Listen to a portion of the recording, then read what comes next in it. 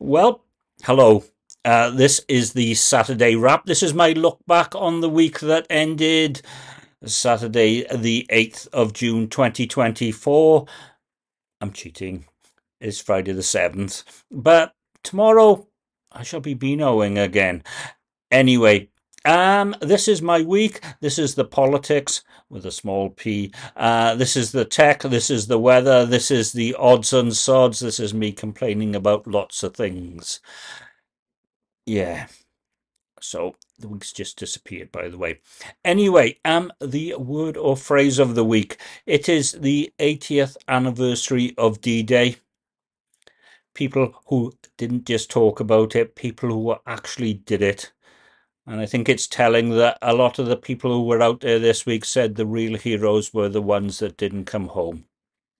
So I, I pay my tributes and I pay my respects to all of them and thank them. They did a wonderful job for us all. Ah, right. App of the week. Now, I've had this one before. But this week something happened. The app is Bartender for the Mac, which arranges and sorts and hides various menu bar apps so you can get them all onto your menu bar.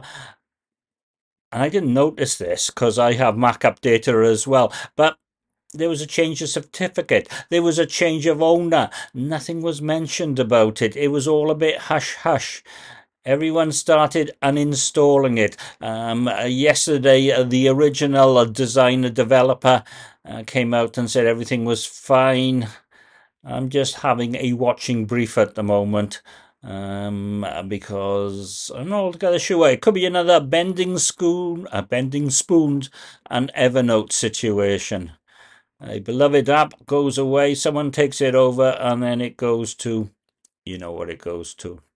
Ah, right. Um, the thing of the week. And again, this is me showing my age, but I always seem to remember in the good old days, that's a long time ago, that when there was an election on, there were always cartoons about candidates kissing babies to gain votes.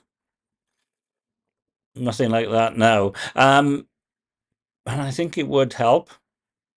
It's deathly dull, or has been deathly dull. Things have changed a little bit this week. Um, we have had the debates, and there is a debate tonight, uh, last night, depending on when you're watching it.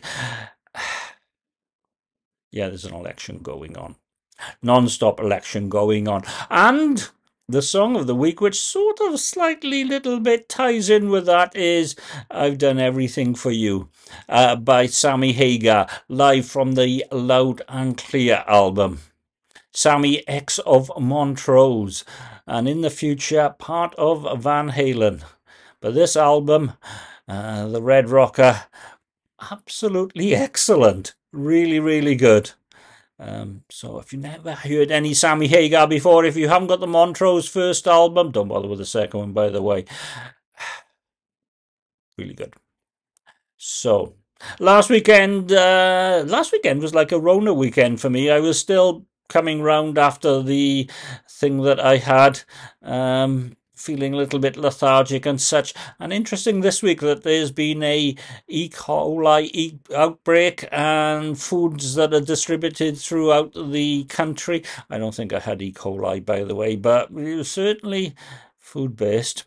Anyway, um, the weekend, I just sort of didn't do much and it disappeared. So just like a Rona weekend. However, Saturday, mowed and trimmed the lawn. It was getting quite long, actually. Um, I'm going to probably need to put some of that seaweed stuff on it before long. Um, Sunday, interesting on Sunday, um, on my desktop PC, which doesn't have a trusted platform chip, um, I had a Windows 10 end of life warning saying October 2025 uh, this is going away. It won't be supported. You won't be able to upgrade. Which is true, to be honest. Um, but I have a plan. And it doesn't involve Microsoft. Also, on Sunday, my first Lenovo laptop. That went Windows 11 as well. So now I've got a Dell and a Lenovo, both running Windows 11. A tabbed notepad. A tabbed terminal as well. Who'd have thought? And um, Sunday, the smell of people having barbecues. That's a sign of summer. And cricket balls flying over the uh, fence from uh, next door up. They're very polite about it, to be perfectly honest, and I don't mind giving them back. Um, but cricket and summer, mind you, cricket and rain stop play. Would have thought. Uh, Monday, the Day in Tech History podcast, which ended, well, it was up until 2015 and was repeated a number of times. It's back. So I'm playing it again. Uh, Jeffrey Powers, by the way. It's a pity he stops in 2015. It really was somewhat wonderful. Tuesday, and here's a strange one, in the tumble from uh, now onwards, the guest ales 149 a pint. That's a good sign and a bad sign together, to be perfectly honest. But I'm gonna fill my boots. There you go. Wednesday, new front tyres, new tracking done. Uh, isn't everything expensive? Who would have thought? Anyway, that's that done. So with a bit of luck, it'll pass the MOT and not slither off the road in the wet or the ice coming winter, etc. Probably need to get some new front screen wipers sorted out, I think.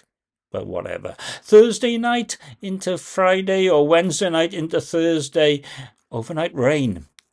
That's the way it should be in the summer sunny, warm days, overnight rain, and my nice potatoes nice and watered without having to get out the watering can. Thank you, Derek. Uh, Friday, boat Dropover. We'll report back on that. Uh, probably going to go to the pro version. Uh, just a fiver. And in work, people moving on. Things change not always for the better, uh, but sometimes for the people who are moving. Yeah, time. It keeps on going. Ooh, I wonder who sang that. You can probably guess. Anyway, um, thank you for watching, and um, comments are very welcome. Uh, bye bye.